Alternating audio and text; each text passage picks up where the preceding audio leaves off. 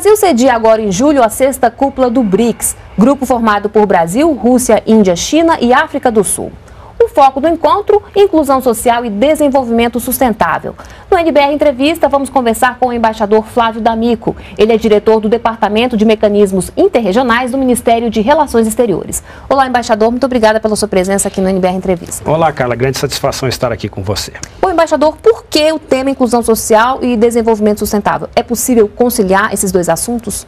Com certeza. Nós temos, ah, estamos absolutamente seguros de que se trata de um tema que tem muito apelo. Uh, em geral, quando se fala nos BRICS, se fala em grandes abstrações, grandes economias, grandes populações, grandes economias, mas não se presta tanta atenção ao impacto que uh, esses países têm tido uh, no desenvolvimento social de suas próprias populações e das populações de todos os países com que eles se relacionam. Uh, nos últimos anos, a contribuição dos BRICS foi essencial para tirar uh, da pobreza milhões de pessoas, seja por força de políticas públicas inclusivas levadas a cabo em países como o Brasil, a Índia ou a África do Sul, seja pela pujança do seu crescimento econômico, como é o caso da Índia, da China, perdão. E que outros assuntos vão estar em debate na sexta cúpula? É, o tema crescimento inclusivo, soluções sustentáveis é o tema principal do debate e esse vai ser o objeto da intervenção pública dos líderes. Além disso, em sessão fechada, os líderes vão se debruçar sobre os grandes problemas da humanidade, começando pelos temas políticos, as grandes crises internacionais e a reforma das instituições internacionais.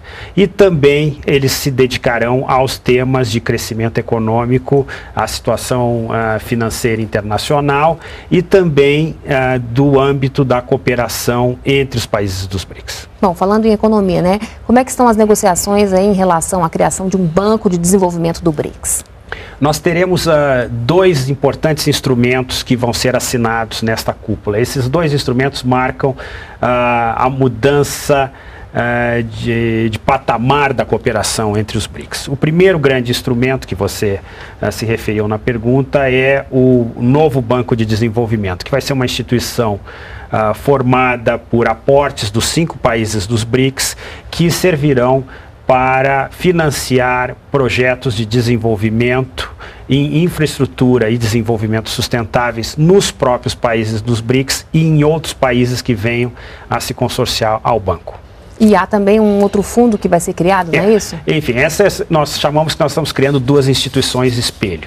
As instituições de Bretton Woods, que foram criadas no final da Segunda Guerra Mundial, estão assentadas em dois pilares. Um banco que seria no caso de Bretton Woods, o Banco Mundial, e um fundo, Fundo Monetário Internacional.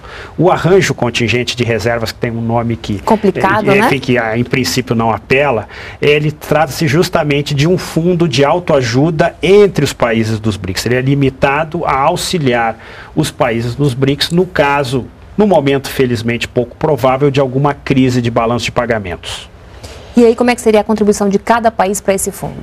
Esse fundo está constituído uh, no montante de 100 bilhões de dólares. No entanto, não há transferência de reservas. Você deixa uma parte das reservas uh, uh, guardada na eventualidade de um dos países precisar de auxílio. Uh, as contribuições uh, são diferenciadas. A China entrará com 41 bilhões de dólares, Brasil, Rússia e Índia, cada um com 18 bilhões, e a África do Sul completará os restantes 5 bilhões. Embaixador, o que, que o BRICS representa hoje no cenário mundial? Eu acho que é uma referência uh, absolutamente essencial.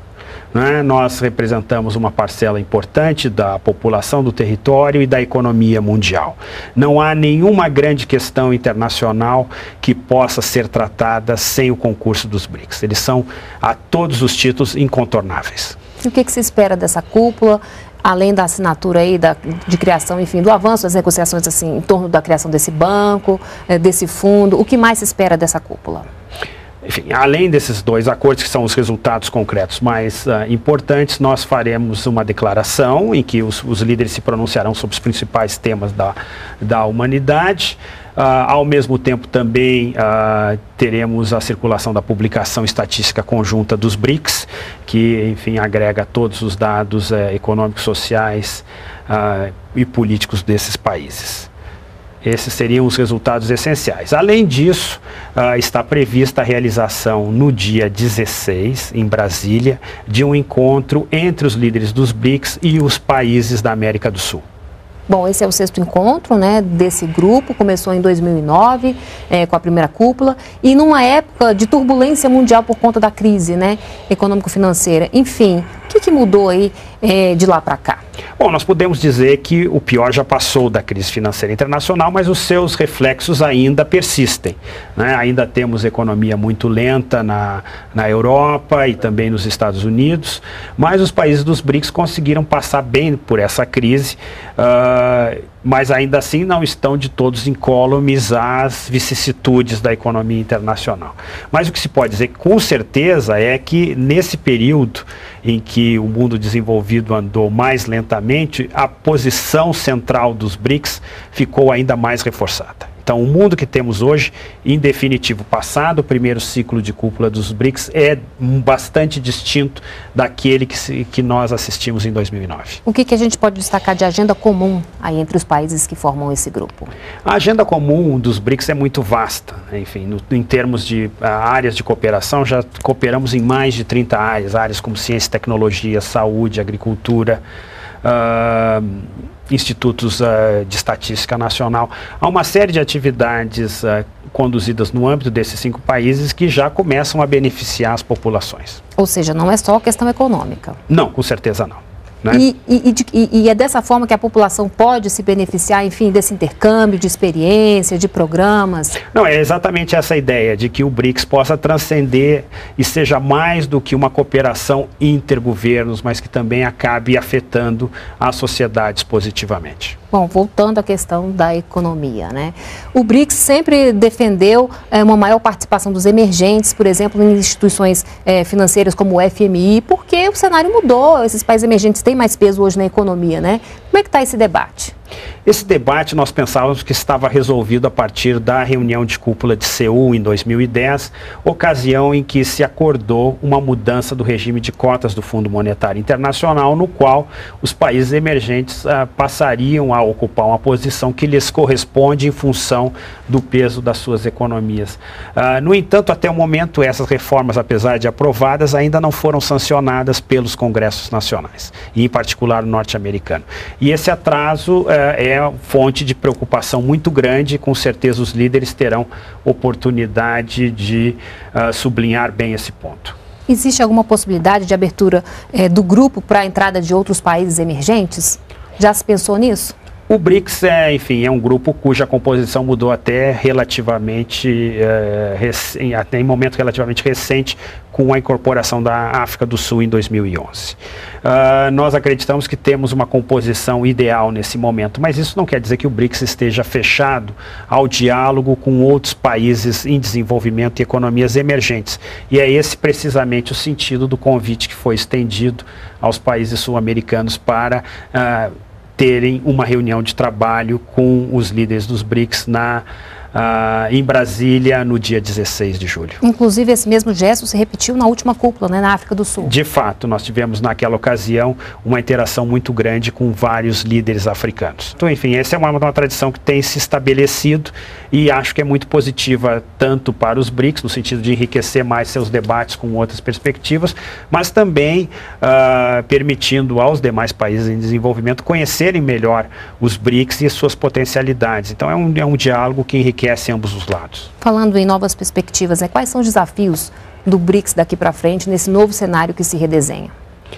O BRICS tem eh, perante si tarefas importantes, inclusive derivadas do que vem a ser decidido aqui em Brasília no que diz respeito à construção dessas duas instituições, o Banco de Desenvolvimento e o arranjo de reservas. E também de começar a discutir o seu próprio processo de institucionalização e de novas instituições que venham a ser criadas, enfim, de modo incremental. Eu acho que o BRICS tem essa grande vantagem de que ele, reflex, ele reflete muito antes de passar a agir. Porque, afinal, é composto de países de grande tradição política e diplomática e que uh, buscam sempre dar passos seguros no fortalecimento dessa parceria. Vamos falar um pouquinho então da programação, né? O que, que qual é o cronograma de trabalho, o que está previsto? A reunião do BRICS ela praticamente vai, uh, vai se iniciar quando for dado o apito final da Copa do Mundo.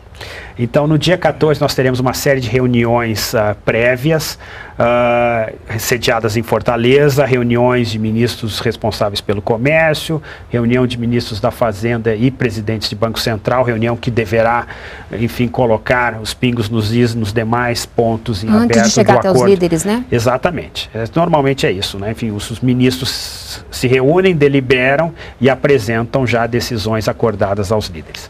Além disso, nós teremos reuniões uh, do Foro Empresarial dos BRICS, ou seja, empresários de todos os cinco países estarão reunidos em Fortaleza para discutir oportunidades comerciais e de investimento entre si, inclusive levando adiante uma rodada de negócios. Quer dizer, nós teremos aí impactos positivos também uh, nesta área.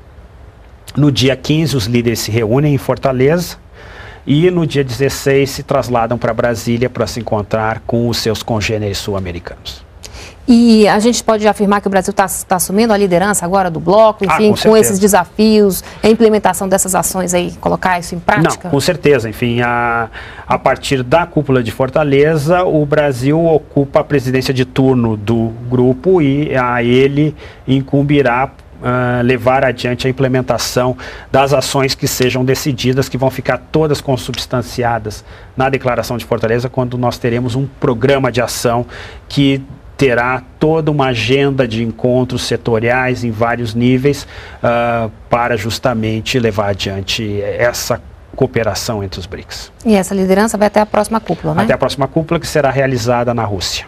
Tá certo, então, embaixador, muito obrigada pelas suas informações e pela sua participação aqui no NBR Entrevista e uma boa cúpula. Ah, foi uma grande satisfação e conte sempre conosco. Obrigada mais uma vez. Outras informações, então, na página oficial da sexta cúpula do BRICS. E se você quiser rever essa entrevista, é só acessar o endereço que aparece agora aí na sua tela. Muito obrigada pela companhia e a gente se vê no próximo programa. Continue aqui na NBR, a TV do Governo Federal.